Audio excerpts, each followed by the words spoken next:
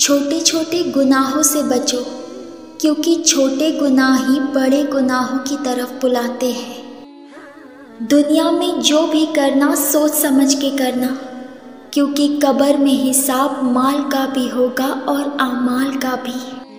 अल्लाह के खौफ से गिरने वाला एक आँसू जहन्नम की आग बुझा सकता है।